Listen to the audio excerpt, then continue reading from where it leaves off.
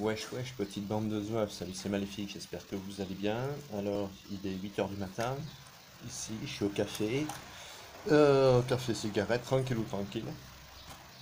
Alors aujourd'hui, on va parler du, du fameux événement euh, qui va euh, arriver, enfin qui arrive du moins à la fin de la semaine, puisque nous serons le 7 juin. Et ça y est, c'est enfin l'ouverture de la fameuse Coupe du Monde, les filles.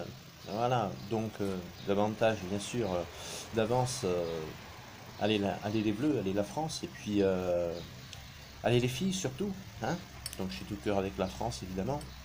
Alors premier match, ça va être contre la Corée du Sud. Alors la Corée du Sud est une, équipe qui est comme une pièce à double tranchant en fait. C'est tout bon ou c'est tout mauvais? Donc espérons que pour nous, ce sera tout mauvais.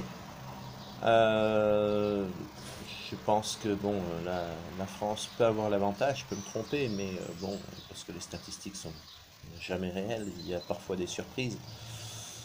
Donc euh, ça va pas être un match facile, mais pas l'un des plus durs, on va dire. Avec bien sûr sans sous-estimer la, la Corée, parce que bon, quand même, c'est ce que je vous dis, c'est une équipe à double tranchant, donc ne pas les sous-estimer non plus. Après, je reste quand même assez positif. Alors, je vois, euh, d'abord, euh, si c'est tout mal pour la Corée, ça voudrait dire peut-être 0-0 à la mi-temps. Et ensuite, en seconde période, deux buts, euh, en faveur de la France, bien sûr. Si auquel cas la Corée décide d'attaquer pour essayer de déstabiliser l'équipe française, surtout sur le plan moral, elle risque de marquer un but pendant la première période. Quoi qu'il en soit, moi, mon pronostic, ce serait euh, 2-0 pour la France, en restant positif. Euh, D'ici là, ben, j'espère que ce- ce- cela se passera comme, euh, comme je l'ai mis dans mon prévisionnel, donc c'est-à-dire Corée 0 et France 2. Donc euh, allez les bleus et allez les filles, gros bisous.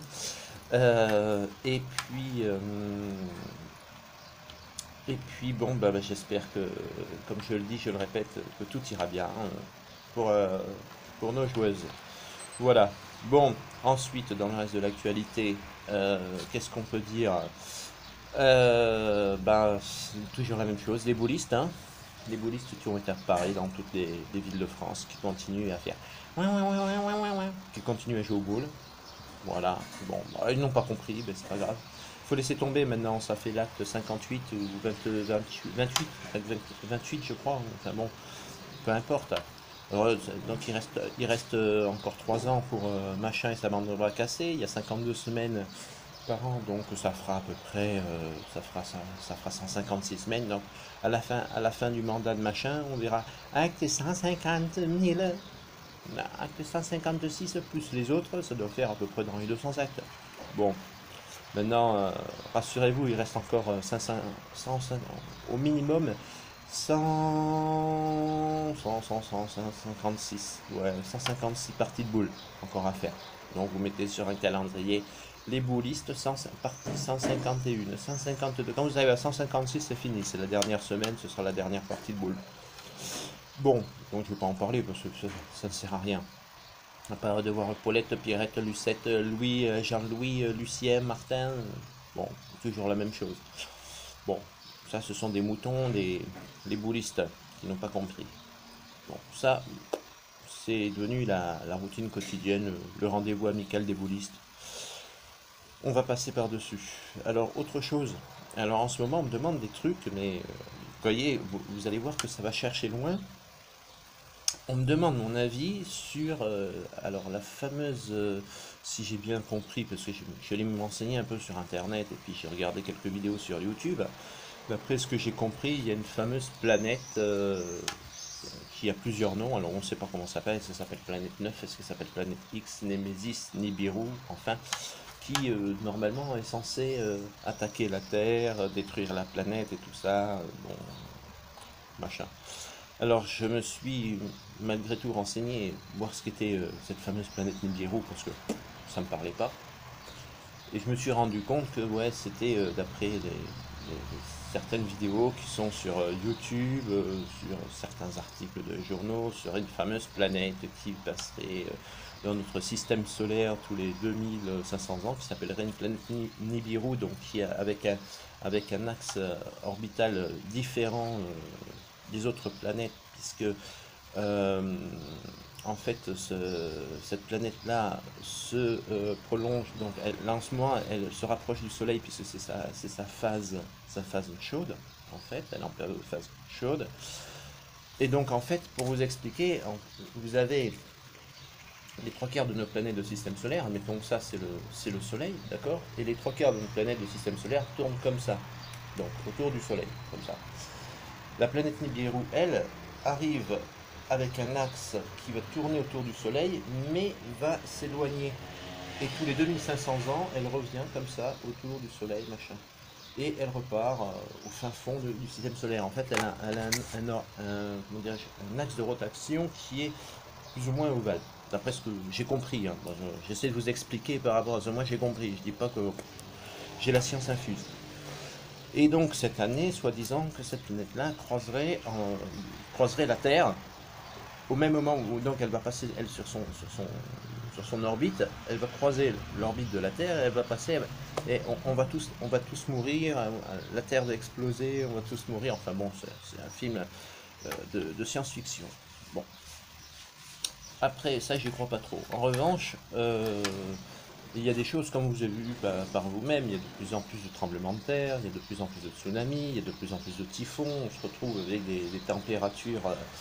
Euh, des, températures froides au moment elles devraient être chaudes. Il y a eu, sais plus, euh, des, images réelles qui ont été filmées en plein mois de, plein mois de mai dans, le désert de je sais plus quel pays avec de la neige. Bon, ça ce sont des faits réels. On peut pas, peut pas les, on peut pas dire que ce n'est pas vrai. Il y a des faits réels.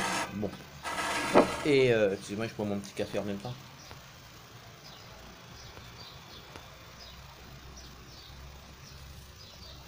Donc, euh, bon, euh, il y a des choses pour lesquelles on ne peut pas nier. Comme les typhons et les tremblements de terre, on ne peut pas les nier. Bon.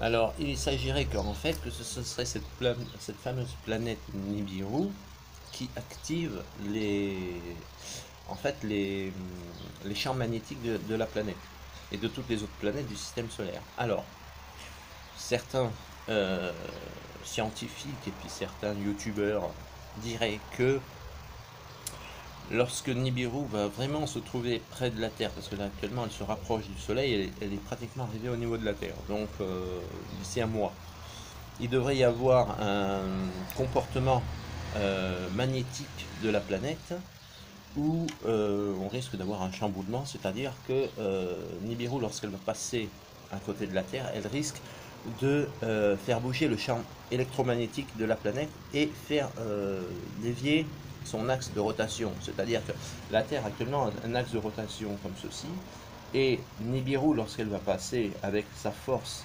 de champ électrique, euh, comment ça, avec ça, je ne sais pas trop vous expliquer parce que le terme scientifique pour moi c'est assez compliqué. Les champs électromagnétiques de la planète Terre, donc son axe de rotation est comme ceci, et lorsque Nibiru va passer, parce que le champ magnétique de Nibiru est comme ceci, donc en fait quand elles vont se croiser, ça va faire comme une sorte de T en fait, et comme Nibiru est une planète qui est beaucoup plus grosse que la Terre, qui fait, euh, je crois qu'elle est euh, plus petite que Jupiter, mais elle est plus grosse que la Terre, je crois qu'elle fait 10 fois, 10 ou 15 fois la, Terre. Donc euh, Nibiru ressemblerait à ça et Jupiter à côté ressemblerait un peu plus, un peu plus gros, vous voyez.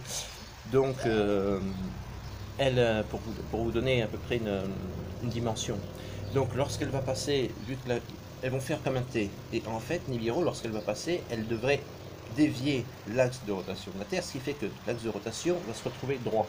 Donc, ça ferait après euh, exactement comme la Lune, c'est-à-dire que par la suite, on va se retrouver englouti par les eaux, la neige, euh, d'un côté ça va être grillé, il va falloir euh, habiter dans des bunkers ou alors sous terre, ou etc., etc. Bref. Et, et donc à partir de ce moment-là, la Terre va continuer à, tourner, mais elle, relaxe comme ça, autour du Soleil. Ce qui fait que ce sera un petit peu euh, comme il y a sur la Lune, c'est-à-dire que la Lune, lorsqu'elle tourne autour de la Terre, il y a toujours une face couverte euh, par le Soleil et l'autre face couverte par la, par la nuit. Et la Terre sera exactement pareil, vu que son axe de rotation sera plat maintenant, il y aura un pôle qui sera toujours euh, dans le noir et l'autre pôle qui sera toujours éclairé face au Soleil. Donc, côté Soleil, la moitié de la planète sera réduite ensemble par la sécheresse, machin, etc., etc., puisque la, Terre aura perdu euh, son, champ électromagnétique et sa couche d'ozone permettant de nous protéger. Et l'autre côté, on aura toute la couche magnétique euh, et la couche d'ozone qui sera intacte, enfin pas intacte, mais disons moins endommagée et euh, et le, champ électromagnétique il fera, froid, donc ce qui fait que la température pourra nous permettre de, vivre du côté sombre en fait. Donc on sera toujours plongé dans le noir, le soleil ne se lèvera plus, on sera toujours plongé dans le noir, puisque la, Terre, lorsqu'elle actuellement elle tourne donc comme ça, machin, mais quand elle va être comme ça, elle va tourner comme ça. Donc en fait elle va tourner plat autour du soleil. Donc ce qui fait qu'il y aura toujours un côté euh, dans le noir et un côté euh, toujours euh, éclairé. Donc voilà, alors si vous, si vous aimez prendre un peu de soleil, ben, vous allez vous faire griller, et puis sinon, ben, vous allez pouvoir vivre à peu près décemment, mais vous serez toujours dans la nuit. Bon, ce sont des, d'après les youtubeurs, les scientifiques, tout ça, c'est un scénario, bon, on va dire un peu catastrophique. Alors j'ai vu effectivement, également sur YouTube, certaines vidéos, euh, toujours comme par hasard, ce sont que les Amerlocs qui font ça, hein, et les Canadiens, c'est bizarre parce qu'on croirait que ça n'arrive que là-bas. C'est très étrange. Euh, j'ai pas vu dans d'autres pays ici. Des fois, vous voyez sur internet des vidéos dans d'autres pays, machin, parlant de, Nibiru, on voit Nibiru. Alors, apparemment, on la verrait lorsque le soleil, au, coucher du soleil au lever du soleil. Et on verrait à ce moment-là un autre petit point blanc, à côté du soleil, qui ferait à peu près la dimension de la Lune, Sauf qu'en fait, ce n'est pas la Lune, parce que la Lune, quand vous, la, quand retournez, on la voit, dans une vidéo, sur YouTube, je ne me rappelle plus le, vidéo, parce que c'est un truc à Merloc. Euh, donc, en fait, on voit le soleil qui est là, donc le coucher du soleil. Ici, on voit un petit point blanc, donc qui est censé représenter une vidéo. Et lorsque le, caméraman donc, tourne sa caméra, et on voit un petit peu plus loin avec la Lune. Là, on s'aperçoit vraiment que c'est la Lune. Et, on, et lorsque le soleil se couche, on voit toujours ce point blanc, donc on a toujours l'impression que c'est la Lune en fait, sauf que la Lune, elle est un peu plus loin sur la droite. Bon, moi je pense que c'est un effet de montage ou un effet de... Même si c'est différent, on voit bien sur la caméra que les, trois points les trois points de, lumière sont, bien distinctement différents. On voit bien le soleil en face de, en, face terminale, c'est-à-dire en face terminale, qui est parti se coucher, quoi, en fait. On voit bien cette ce fameux point Nibiru. Et un peu plus loin, on voit bien la Lune. Donc ce sont trois points différents, parce que la Lune est bien faite, bien formée, tout ça, et le côté. Bon, je sais pas, j'ai un doute. Moi je pense que c'est peut-être une vidéo montage ou une connerie comme ça. Bon, après, euh, c'est toujours des histoires à dormir debout, un peu. Voilà, ça c'est la planète Nibiru. Alors maintenant, on parle aussi de la planète Nine. Alors la planète Nine, c'est encore autre chose il y a Nibiru donc d'un côté qui arrive donc côté du, fond du système solaire et on a la planète Nine qui arrive elle de l'autre côté donc au sens opposé qui arrive depuis le Soleil. Alors la planète Nibiru arrive pratiquement au Soleil. Donc admettons que vous avez le Soleil, vous imaginez que sur la droite du Soleil vous avez Nibiru et sur le côté gauche vous avez la planète Nine. Alors la planète Nine avec euh, son satellite et la planète Nine euh, est en fait une toute petite euh, planète. C'est même pas une planète, en fait, c'est plus euh, une, météorite ou un rocher qui est accompagné de son satellite. Et pareil, qui fonce tout droit vers la Terre. Or, il a été euh, prouvé que c'est une. En fait, la planète Nine existe réellement, elle arrive vraiment vers la Terre, mais elle va pas percuter la Terre puisqu'elle devrait passer à je sais plus combien, enfin, elle devrait frôler la, la Terre en fait cette année. Parce qu'en fait, c'est. Euh, mais d'après ce qu'ils disent, il n'y a, pas de danger. Bon, on fout, hein, moi, je sais que maintenant, j'ai la certitude que maintenant nous sommes réincarnés. Donc, même si tu as une planète qui vient s'écraser sur la nôtre, on s'en fout, les gars. On est réincarnés. Euh, donc, un mois plus tard, on est vivant, on revient sur la terre et tout. On fait la fête, on danse, on boit l'apéro ensemble et tout. Je vous promets, on est réincarnés maintenant. Oui, je vous jure, je vous jure. C'est le prophète, il l'a dit dans toutes les langues et tout. La Walazi et le Walazou. Bon, bref. Parlons sérieusement. Donc cette fameuse planète, qui serait même pas une planète, ce serait une météorite, la planète Nine, donc elle arriverait euh, vers la Terre, elle risque de passer euh, à côté de notre planète, la frôler. C'est le plus dangereux en revanche, c'est son satellite. Son satellite, effectivement, euh, va passer encore plus près de la Terre que la planète Nine. Donc il risque de rentrer dans l'atmosphère de la Terre. Et ça, c'est le côté qui serait plus probable. Mais c'est un tout petit satellite qui est peut-être encore plus petit que la Lune. Donc, c'est pour ça que en fait, ça représente un, petit caillou pour nous à l'échelle d'ici. C'est un petit caillou. Vous imaginez, c'est un petit caillou qui rentre dans la planète. Donc déjà, même si le satellite de la planète euh, Nine rentrait dans la Terre, vu que c'est un petit caillou qui est plus petit que la Lune, bon, certes, il y aura, des risques d'impact, mais euh, déjà, d'une part, je pense que la NASA, les Américains, les Russes, les Européens et tout ça, ils ont déjà prévu le coup, d'accord? Donc, soit ils la font exploser, euh, c'est parce que c'est un petit, un petit caillou, donc soit, soit ils font exploser, auquel cas il risque d'avoir des météorites qui risquent de tomber sur la planète. Mais bon, des météorites, il en tombe tous les jours sur la planète, ça personne ne vous dit. Mais euh, la planète continue de vivre, les gens continuent de vivre, et euh, ce sont des... Et, ça tombe tous les jours, ils ont retrouvé encore, euh, on n'en parle pas, c'est parce que les médias ne veulent pas le dire pour pas, pour pas affoler les, gens, mais ça, des météorites, on en retrouve tous les jours sur la planète. Hein. ça tombe ou dans, ou dans le Pacifique, dans, l'eau en général, ça tombe souvent dans les mers, donc c'est pour ça que ça fait moins de dégâts, ça peut aussi créer parfois des tsunamis, voilà, mais... Euh, Les météorites, rassurez-vous, ils en tombent tous les jours. Si vous regardez le ciel, vous voyez souvent des étoiles filantes et, ce sont des, euh, tout ce que vous voyez en tant qu'étoiles filantes, ce sont des étoiles qui sont euh, des météorites qui sont à côté de la Terre. Donc, lorsque vous êtes dans le ciel, vous regardez, vous voyez des étoiles filantes, ce sont des météorites qui passent peut-être rien du tout de la Terre, un, poil de, cul en fait. Et pourtant, vous voyez, elle passe dans le ciel, elle ne s'écrase pas, et le peu qui s'écrase, de toute façon, lorsque ce sont des, toutes météorites, là en l'occurrence comme le satellite de la planète Nine, qui arrive, qui risque de rentrer dans l'atmosphère, déjà, elle sera donc ou envoyée euh, avec un missile, elle sera détruite, elle sera transformée en mini-fragments qui seront détruits lorsque, lorsque le, lorsqu'elles vont rentrer, pénétrer la couche d'ozone de la Terre. Donc, ou alors ça risque de tomber au sol, mais ça risque d'être petit caillou, donc il va y avoir un peu d'impact, mais c'est pas non plus l'apocalypse attendu. Ou alors tout simplement ils vont la, ils vont la, repousser avec une, bombe nucléaire, ils vont, repousser la, petite météorite de façon à l'éloigner de la Terre suffisamment pour qu'elle puisse continuer son chemin sans, sans, nous, sans nous percuter. Quoi. Donc euh, voilà, il faut arrêter. Euh, moi, je ne dis pas que j'ai la science dessus, je ne dis pas que j'ai raison. Mais d'après euh, mes, connaissances personnelles et puis mon amateurisme, parce que je suis amateur un petit peu d'astronomie,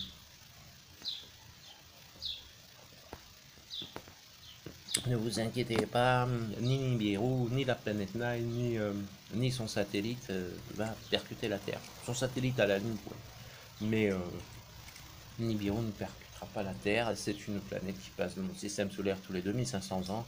Si elle devait percuter la Terre, je pense qu'elle l'aurait fait depuis longtemps, parce que les planètes ont toutes leur axe de rotation avec la même distance. La Terre tourne à la même vitesse, à la même distance. Nibiru tourne à la même vitesse, à la même distance. Euh, cette planète rentre dans notre système solaire tous les 2500 ans. Alors je pense que si elle devait percuter la Terre, elle l'aurait fait depuis bien longtemps. D'accord? Euh, Ça, c'est un peu comme la légende. Hein. Il y a eu deux, les deux plus grosses météorites euh, qui ont été les plus, euh, euh, comment dirais-je, plus menaçantes de la Terre, qui fonçaient vraiment droit sur la Terre. ça a été, il y a eu la planète, c'était, je ne me rappelle plus, je crois que c'était les, c'était deux, gros astéroïdes en fait. Hein qui partaient de, qui ont été euh, découverts en 98 et qui partaient de Neptune, enfin qui ont été découverts à la limite de, la planète Neptune et euh, qui ont été euh, qui ont été en 80 en 88 pardon en 88 excusez-moi. Et je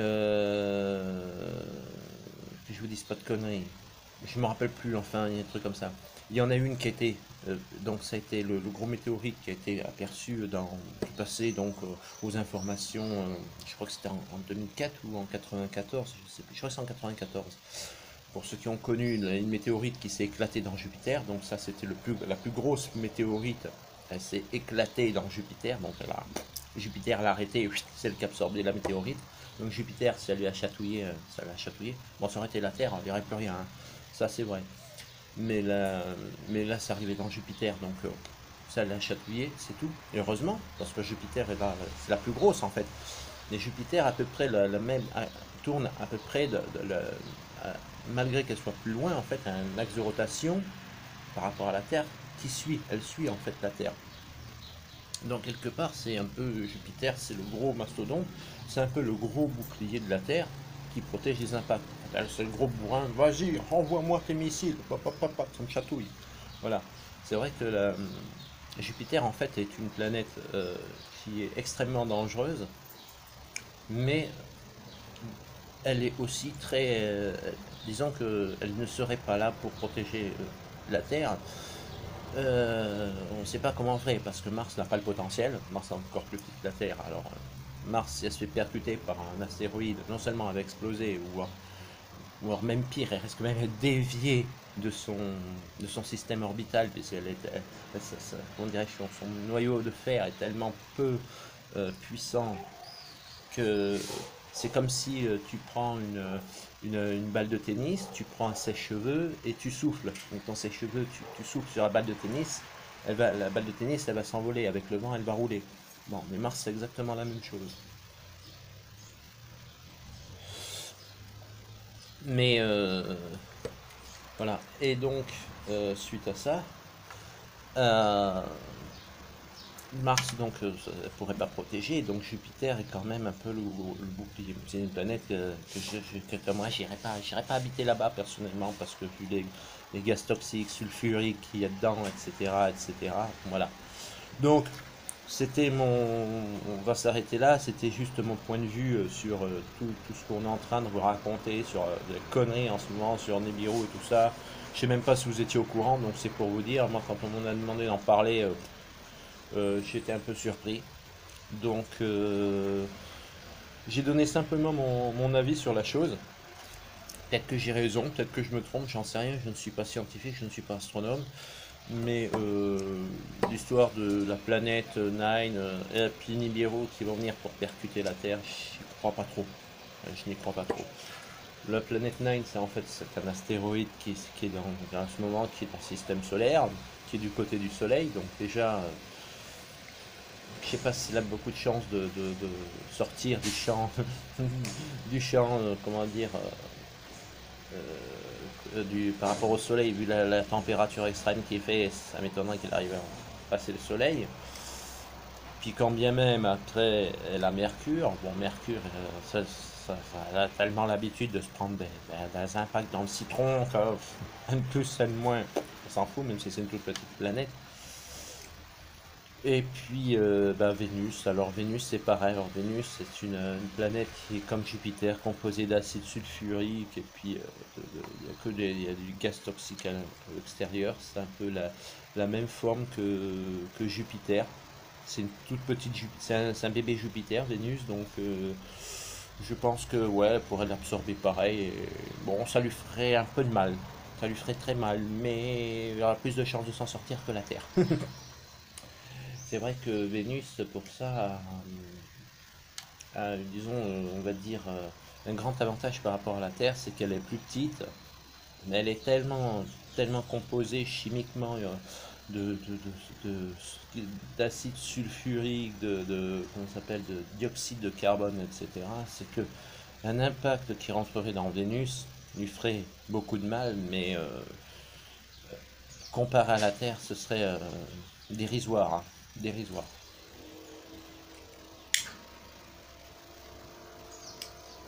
Voilà, bon, bref, j'ai assez parlé de, choses scientifiques à 8h20 du matin, vous voyez.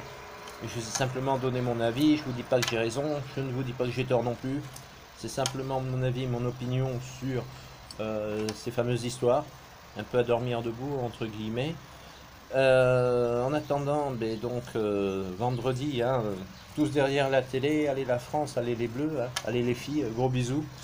Et puis, euh, j'espère que si elles sont championnes du monde, je pourrai avoir le numéro au téléphone personnel de certaines, d'une en d'une ou deux en particulier, tant qu'à faire. Histoire de les rencontrer, discuter un peu avec elles, faire une vidéo, pourquoi pas. Ça pourrait être sympathique. Et puis, euh, bon, ben, les boulistes, hein, on continue à, bouler. Voilà, voilà. Bon, c'était la vidéo du jour. Bon, commence à un petit peu être longue maintenant. Donc, d'ici là, je vous dis à très bientôt pour une prochaine vidéo. Soyez heureux et à très bientôt. Euh, donc, je ne sais pas à quand, mais en tout cas, une chose est sûre, c'est que je reviendrai très bientôt. Après le café, la cigarette, demain ou après-demain. On verra. Donc, mon pronostic, hein, je vous le dis avant de terminer les, choses, 2-0 hein, pour la France. Voilà. Allez, soyez heureux. Ciao, ciao, wesh, wesh. Bisous, bande de zouaves. C'était maléfique.